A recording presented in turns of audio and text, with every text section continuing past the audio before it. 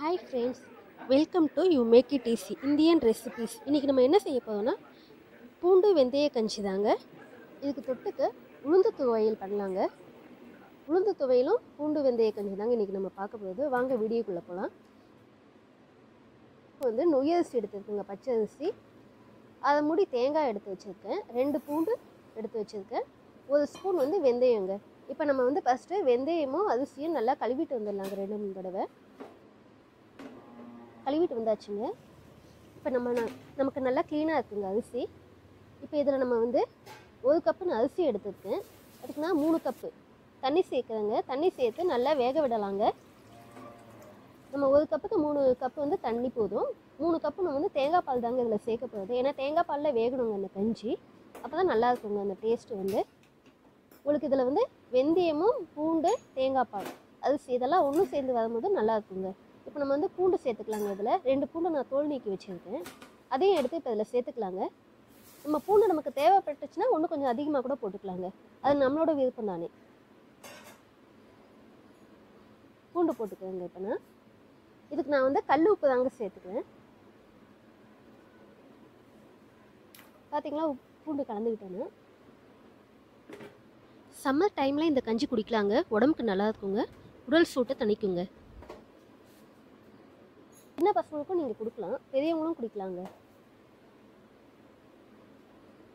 இப்போ நான் தேவைக்கு உப்பு கலந்துக்கிட்டேங்க நமக்கு தேவைப்பட்டுச்சுன்னா மறுபடியும் நம்ம உப்பு சேர்த்துக்கலாங்க. நான் வந்து அரைமுடி தேங்காய் எடுத்து வச்சுருக்கேன்னு சொன்னேன். அதை சின்ன சின்ன துண்டாக கட் பண்ணியிருக்கேன். அது மிக்சியில் போட்டு நம்ம அரைச்சிட்டு வரலாங்க.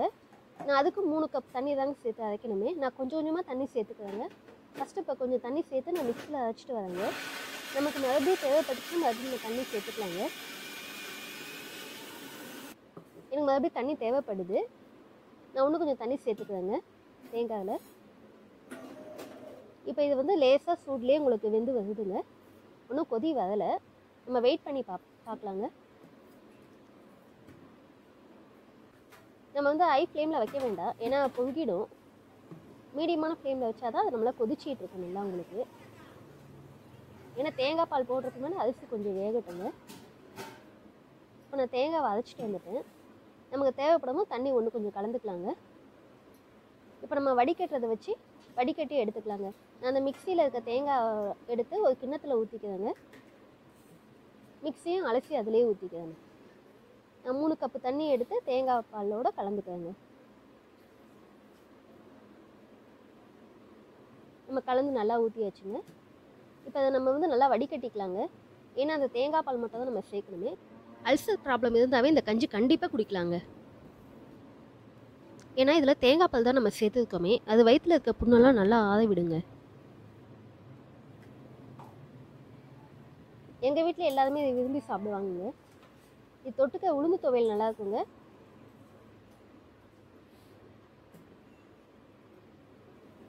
நான் வடிகட்டுறேன் பார்த்தீங்களா உங்களுக்கு? அந்த தண்ணி மட்டும் தான் எடுத்துருக்கேன் தேங்காய் பால் மட்டும்தான். இந்த தேங்காய் திப்பியை தனியாக நான் எடுத்து வச்சிடுறேங்க அது நமக்கு தேவைப்படாதுங்க. வெந்தயம் போட்டு வைக்கிறதா இந்த கஞ்சி கசப்பாக இருக்கும்னு நினைக்க வேண்டாங்க. தேங்காய் பால்னாலும் நல்லா டேஸ்ட்டாக தாங்க இருக்குமே. இந்த தேங்காய் திப்பியில் இன்னும் கொஞ்சம் தண்ணி கலந்து மறுபடியும் நான் வடிகட்டி எடுத்துக்கிறேங்க அதுக்குள்ள நமக்கு வந்து சாதம் நல்லா வெந்துகிட்டு இருக்குங்க நல்லா கொதிச்சிட்டு இருக்கு பார்த்தீங்கன்னாவே உங்களுக்கு தெரியும். ஆனால் பொங்கி நான் வெளியில் வர விடலை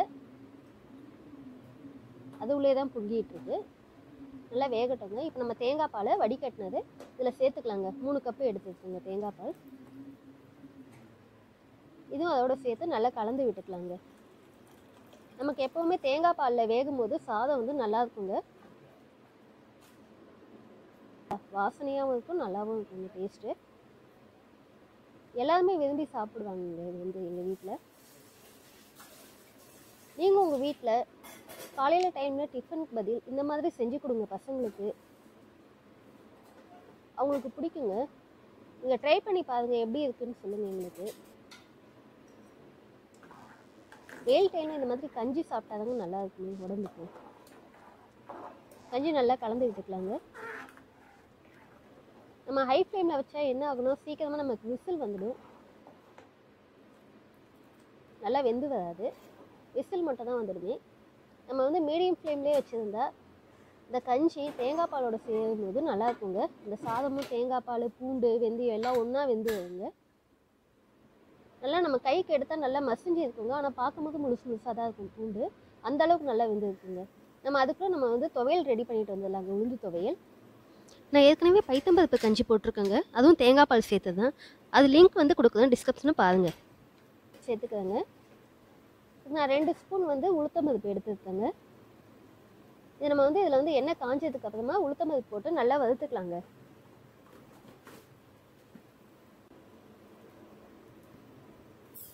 உளுந்து துவையல் வந்து ரச சாதத்துக்கும் நல்லா இருக்குங்க. நீங்கள் ட்ரை பண்ணி பாருங்க.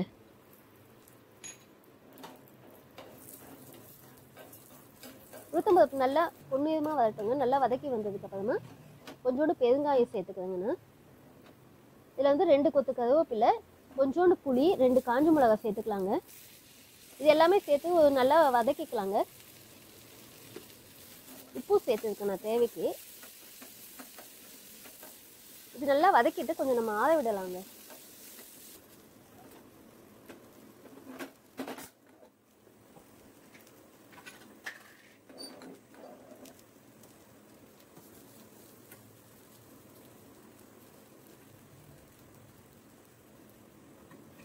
மிக்சியில் அரைச்சிட்டு வந்துடலாங்க. நமக்கு வந்து ஆயிடுச்சு நல்லா உளுத்தம்பருப்பு நம்ம இதில் வந்து ஒரு கால் கிளாஸ்க்கும் கம்மியாக தண்ணி சேர்த்தாவே போதுங்க துவையலுக்கு அதிகமாக தண்ணி தே- சேர்க்க வேண்டாம்.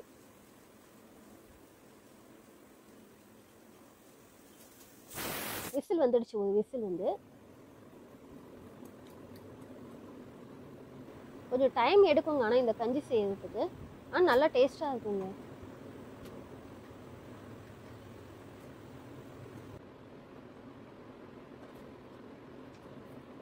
துவையல் அரைச்சிட்டு வந்துட்டேங்க முத்தம்பருப்பு உங்களுக்கு எந்த அளவுக்கு இருக்குன்னு பாருங்கள் தண்ணி கலந்தது. நான் உங்களுக்கு காமிக்கிறேன் நான் இப்போ. துவையில் எந்த அளவுக்கு இருக்கணுங்க நமக்கு. தொட்டு சாப்பிட்ற அளவுக்கு இருக்கணும் இப்போ நமக்கு விசில் வந்துடுச்சு ஸ்டீம் போயிடுச்சு நம்ம கஞ்சி எடுத்து பார்த்தீங்கன்னா தெரியும். எல்லாம் வெந்திருக்கு. பார்த்தீங்களா அந்த வெந்தயம்னா? வெந்தயம் பூண்டு இதெல்லாம் முழுசாக பார்க்கும்போது நல்லா இருக்குங்க. உங்களுக்கு எடுத்து காமிக்கிறேன். வெந்தயம்லாம் அங்கங்கே இருக்குது பாருங்க. மிஸ் முழுசாவே ஆ நல்லா வெந்துடுச்சுங்க வெந்தயம் வந்து. வெந்தய தேங்காய் பால் கஞ்சி நமக்கு இப்போ ரெடி ஆகிடுச்சுங்க நீங்களும் உங்கள் வீட்டில் செஞ்சு பார்த்துட்டு எப்படி இருக்குன்னு கமெண்ட் பண்ணுங்கள் தேங்க்யூ பாய் பாய் நம்ம வேறு ஒரு வீடியோவில் பார்க்கலாங்க.